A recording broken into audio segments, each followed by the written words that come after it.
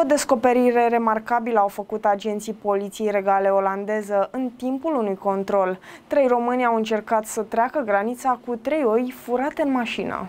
Conform Libertatea.ro, într-un autoturism, trei români și trei oi. Aproape de granița cu Germania a fost depistată o mașină care transporta trei oi și pe care agenții le-au văzut prin luneta și geamurile laterale. Motiv suficient pentru a opri vehiculul, oile s-au dovedit a fi furate de la un crescător de oi de lângă os, după ce polițiștii au verificat crotaliile. Proprietarul lor a fost chemat să-și recupereze animalele. Cei trei ocupanți români ai mașinii au fost arestați. Aceștia erau încă audiați la moment momentul publicării știrii de către sursa olandeză, după care parchetul decide ce pedepsă ar trebui să primească. Nu se știe ce făceau bărbații cu oile, mai scrie sursa citată, care însă preia postarea de pe Twitter a poliției regale.